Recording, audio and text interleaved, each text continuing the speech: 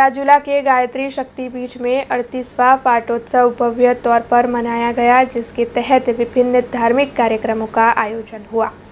राजूला से ये खबर सामने आ रही है, जहाँ पर गायत्री शक्ति पीठ में अड़तीसवें पाठोत्सव का भव्य आयोजन करवाया गया है। दरअसल, इस पाठोत्सव के आयोजन के तहत सुबह शाम आरती का और गायत्री यज्ञ का आयोजन करवाया गया है। तो वहीं 24 कुंडी महायज्ञ का आयोजन भी इसके तहत करवाया गया। वैसे, इस 24 कुंडी महायज्ञ के तहत सौ से भी अधिक भाई बहनों की ओर से आहुति दी गई।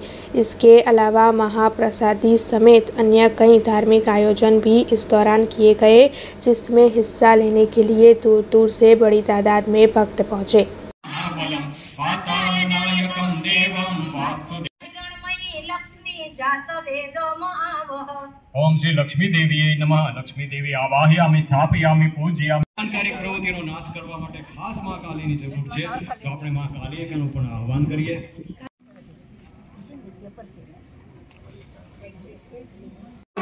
सने संस्थितां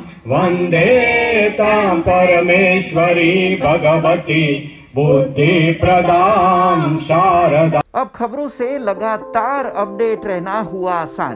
बीआरजी न्यूज़ आपके मोबाइल स्क्रीन पर। आज ही बीआरजी न्यूज़ की mobile app Google Play Store और ऐप स्टोर से डाउनलोड करें और खबरों से लगातार जुड़े रहें।